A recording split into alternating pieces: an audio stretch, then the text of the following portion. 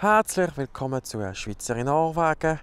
In dieser Sendung geht es um eine norwegische Stadt, nämlich Ålesund. Und was man dort und in der Umgebung alles sehen und machen das sehen Sie im ersten Bericht. Ålesund befindet sich auf halbem Weg zwischen Bergen und Trondheim an der Westküste in der Provinz Møre und Romsdal. Am Anfang vom weit verzweigten Fjordsystem, an dessen Ende sich der berühmte Geiranger Fjord befindet, liegt Ålesund auf drei Inseln, nämlich Nørøya, Heisa und Aspøya. Die Stadt wird durch ein Bollwerk, eine kleine und größere Insel auf der stürmischen See vom Nordatlantik geschützt.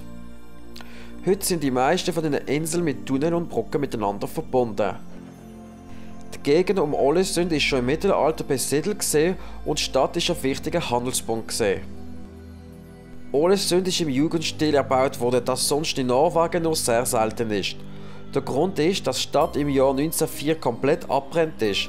Danach ist die Stadt in nur drei Jahren wieder aufgebaut worden und nur Steinhäuser sind genehmigt worden, um eine Wiederholung der Katastrophe zu verhindern. Als der deutsche Kaiser Wilhelm II. von der Katastrophe gehört hat, hat er sofort Hilfe losgeschickt. Er ist nämlich ein grosser Norwegen-Enthusiast und hat seine Sommerferien oft auf seiner Yacht an der Küste vor Norwegen verbracht. Durch seine Ehre steht der Gedenkstein im Stadtpark. Vor allem rund um den Fischereihafen am Hellesund sind die farbigen Häuser mit ihren Türmchen und Turmspitzen am schönsten. Dort kommen sie bis am Wasser und spiegeln sich an schönen Tagen.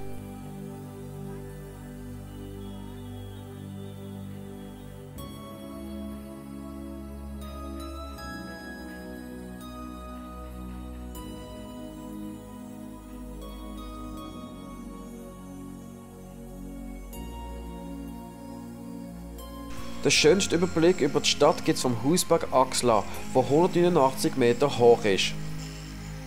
Am einfachsten ist es, den Weg zu nehmen, der im Stadtpark anfängt. Nach 418 Stufen ist man oben. Hier oben hat es ein Beiz. Es ist auch möglich, mit dem Auto raufzufahren.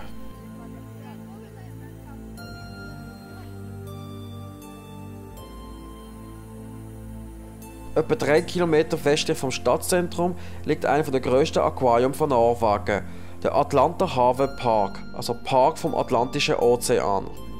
Das Aquarium ist vor allem aus Meeresbewohnern aus der norwegischen See spezialisiert. Exotische Tropenfische sucht man vergebens. Die Hauptattraktion ist das grosse Aquarium mit den typischen Fischen aus Norwegen, wie Dorsch, Lachs, Seelachs, Seewolf und Heilbutt also alles das, was sonst aus Tiefkühltruhe kennt. Der Höhepunkt vom Tag ist die große Fütterungsshow. Ein Taucher schwimmt dann rein und füttert Fisch mit der Hand. Die Fische gehen natürlich den Abflug und stürmen gerade los. Gewisse Fische, vor allem Seelachs, sind besonders gewitzt und versuchen das Futter gerade selber aus dem Sack rauszuholen.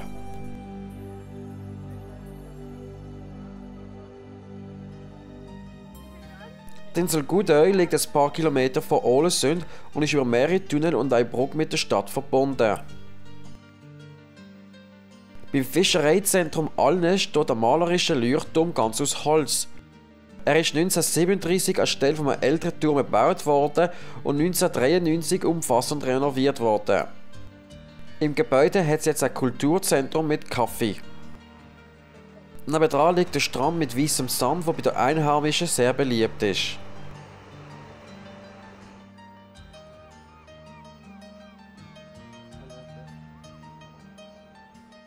Gegend um Alnes ist Ausgangspunkt für Bergwanderungen direkt am Meer.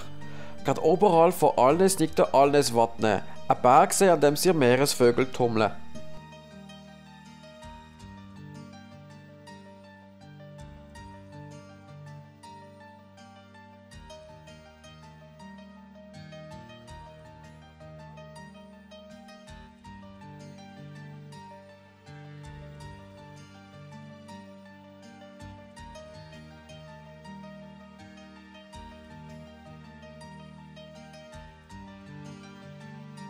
Von Gudøy sieht man weiter auf die Insel Ründe.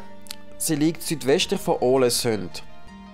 Das Hauptziel ist der Ründebranden, der grösste Vogelfelsen von Norwegen.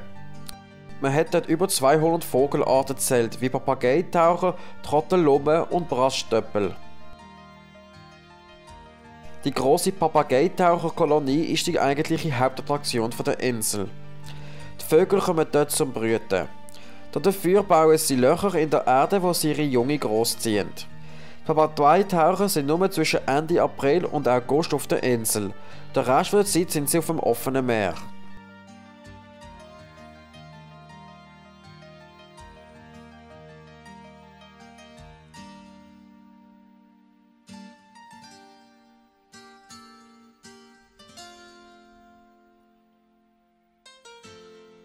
Ründe ist über eine Fähre sowie mehrere Brücken von Ålesund erreichbar.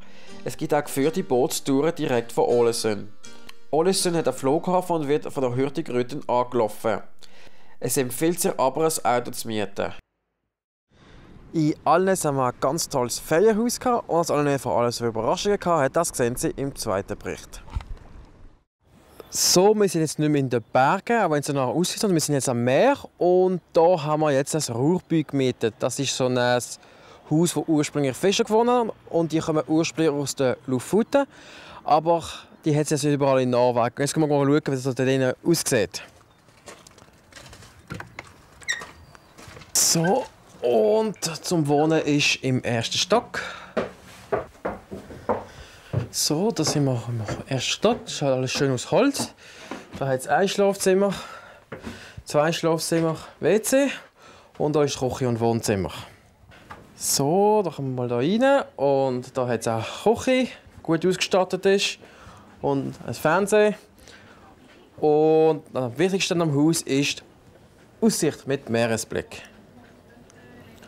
So, aber das Beste am Haus das ist unten.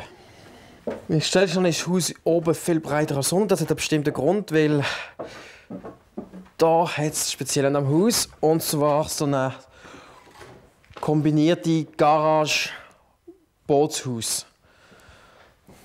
Oh, und mit dem Haus kommt auch noch andere Sachen mit, zum Beispiel Reisen zum Krabbenfischen, Schwimmwesten und ein Boot. Und das können wir jetzt draußen anschauen. Und raus kommt man durch die große Tür.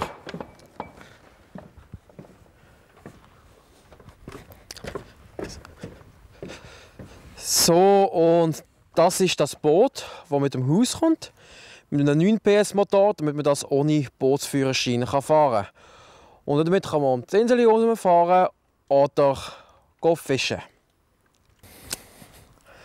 Und der Tisch ist da, um den Fisch zu nehmen, nachdem man ihn gefangen hat. Die Möbel werden sich sicher freuen.